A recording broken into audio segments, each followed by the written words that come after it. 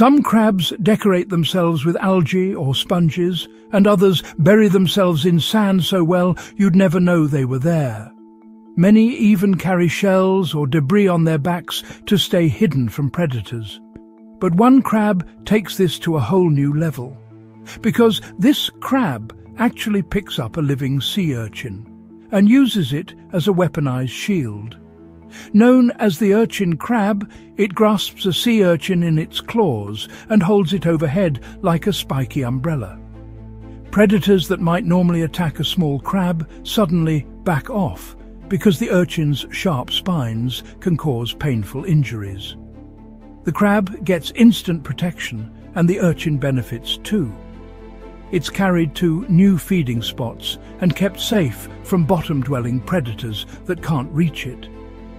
What makes this so extraordinary is that it's a rare case of behavioral tool use in crustaceans. The crab isn't just hiding behind the urchin.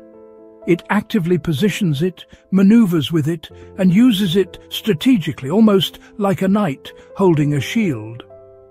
This cooperation shows how even simple marine animals can evolve complex survival partnerships. A crab that wields a living shield, proof that the ocean's strangest alliances may also be its most ingenious.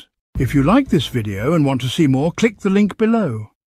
Thanks for watching your daily dose of science. If you learned something new, tap like and share it with a friend. And don't forget to subscribe for more amazing science facts every day.